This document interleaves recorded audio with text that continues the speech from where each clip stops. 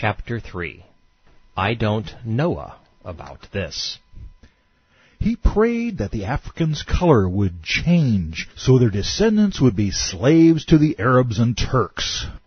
Mohammed had a religion to sell, and by God, he was going to make it sound religious, no matter how often he had to reshuffle the facts. Tabari.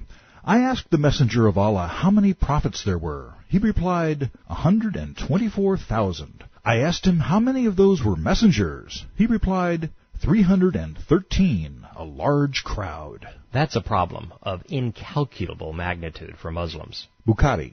I heard Allah's apostle saying, From my followers there will be a crowd of 70,000 in number, who will enter paradise, whose faces will glitter as the moon. These numbers just don't add up. There must be a mistake. Let's check another hadith. Bukhari. Verily, seventy thousand of my followers will enter paradise altogether, so that the first and the last amongst them will enter at the same time. Sorry, Muslims. Paradise is full. A giant no vacancy sign is hanging over the brothel door. In fact, it's overbooked. 54,000 prophets have already been turned away. With odds like this, it's no wonder Muslims are willing to kill for a place in line. Now that we know Muhammad's paradise is overbooked, how about Allah's hell? Bukhari. The Prophet said, Allah will say, Adam, I am obedient to your orders. Allah will say, Bring out the people of the fire. How many are the people of the fire? Allah will say, Out of every thousand take out 999 persons. At that time, children will become hoary-headed, and every pregnant female will drop her load. You will see the people as if they were drunk. Allah's punishment will be very severe. There have been more than 10 billion humans born thus far. If one in every 1,000 people get to frolic with Allah's babes, the brothel's capacity must be 10 million, not 70,000. Somebody isn't telling the truth. That news distressed the companions of the prophet too much, and they said, O Allah's apostle, who amongst us will be that lucky one out of the one thousand who will be saved from the fire? He said, Have the good news that one thousand will be turned from Gog and Magog, and the one, the one to be saved, will be from you. Since he wasn't a real prophet, Muhammad didn't know that the people of Gog and Magog would all succumb to Islam. They include today's Iranians, Iraqis, Turks, and Muslims in the Islamic republics of the Russian Federation. The Prophet added, By Allah, I hope that you Muslims will be one of the third of the people of paradise. On that we glorified and praised Allah by saying, Allahu Akbar. The Prophet then said, I hope that you will be one half of the people of paradise. Therefore, a maximum of 35,000 Muslims will burn in lust rather than in Allah's fire. That represents 1 in 90,000 Muslims. Said another way, if you were to fill a stadium with 90,000 Muslims, all but one would go to hell.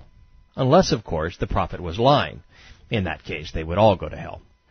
Gog and Magog is Islam's time bomb, a gift from the Jews.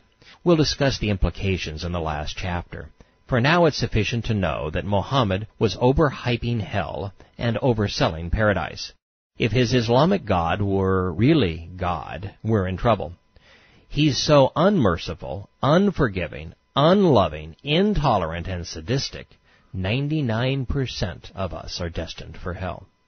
Throughout the Sunnah and Quran, Muhammad falsely attributes Muslim prophet and messenger status to biblical characters in order to remake them in his image. Most every prophet slash messenger listed in the Quran came from the Bible, including Adam, Noah, Seth, Abraham, Lot, Jacob, Joshua, Jonah, Job, Moses, David, Solomon, Saul, Elijah, Ezra, Enoch, John, and Isa, the Islamic Jesus.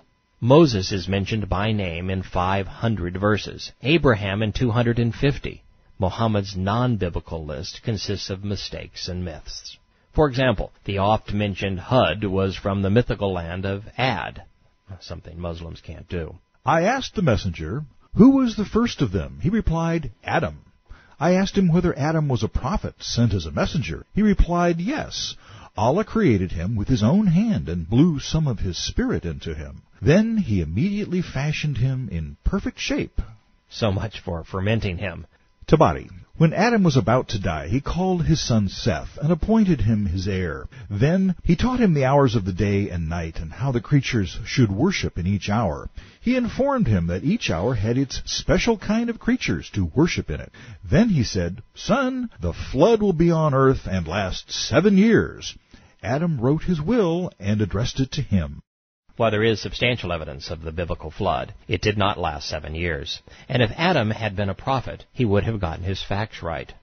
Further, we were just told that animals are to practice Islam, worshipping at prescribed times. After Adam's death, political leadership fell to Seth. According to a tradition on the authority of the messenger, Allah revealed 50 scrolls to Seth. That would mean that between Adam and Seth there were 71 scrolls of Scripture. You'd think with this vast quantity of divine revelation, the great messenger of Allah would tell us something about their contents, some divine truth perhaps.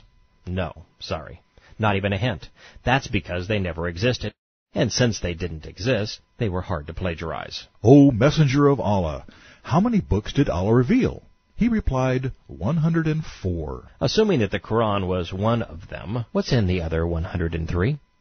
We have this treasure on the authority of the messenger. Tabari. When the angel of death came to seize Adam, he said, You have come too early. Sixty of my years remain. The angel of death replied, Nothing remains. You gave those sixty years to your son David. Adam denied it, and so on that day Allah established written documents and commanded the use of witnesses. David was 3,000 years removed from Adam, hardly his son. And how can writing have been established while Adam was on his deathbed? Just a moment ago, Allah said he gave Adam 21 scrolls and taught him the alphabet. A paragraph later, we're told. Allah wrote down in a document and had the angels witness it. Whereupon Allah had the document brought down and had the angels produced as witnesses against him.